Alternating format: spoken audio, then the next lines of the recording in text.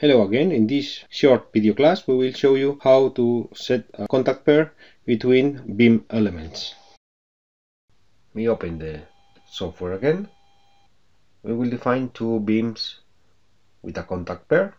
This example will be, you will see that's very impressive because it will detect contact even with the real profile of the of each section. So I will define my two beams in contact, create one line. And another line. Half a meter above. You have them. Define steel material. The same for both. And profile.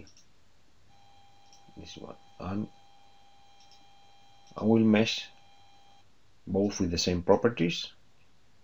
Same section same size for the mesh I save it. Here I have my two beams meshed. The top one will go down until contact is reached. So find my boundary conditions.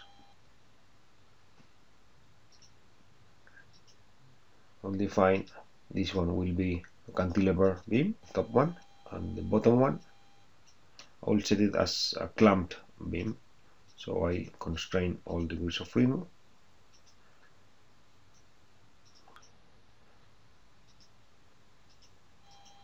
I can check them here.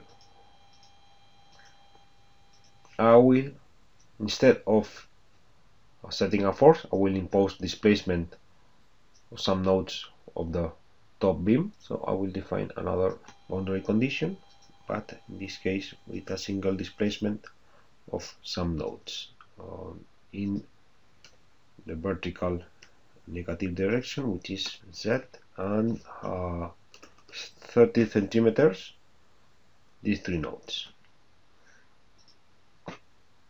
define my load case contact and I will add both boundary conditions one for the displacement can check it here. Here the symbols for the displacement the forced displacement. I must define my contact contacted will be the one at the bottom. I'll define my contact pair. By default it's a glue contact but I want to define a touching contact friction coefficient here.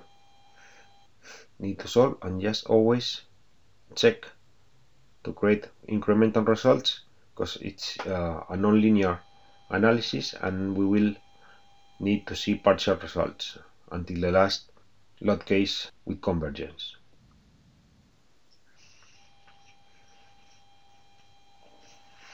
Go here, we check that we have till 6 solved results. It will divide the displacement in 6 parts until the full displacement of 0.3 meters. So we can check partial result for example the displacement and always set the scale to 1 so we have the real displacement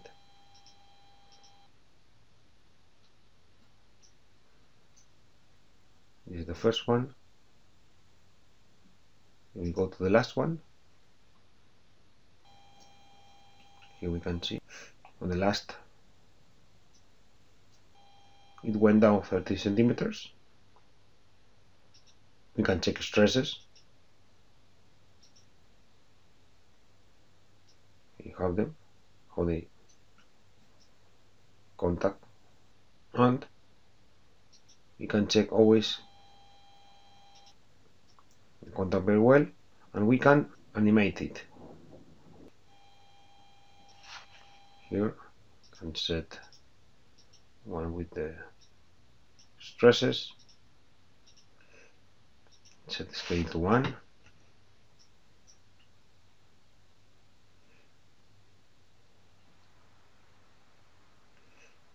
maybe the last one is not good for the results. We can take it out.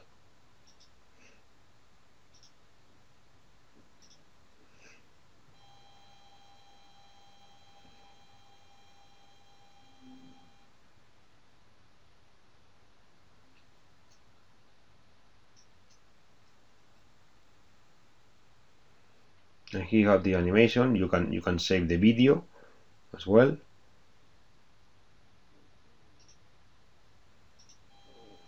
and another result we can plot our forces and, and moments.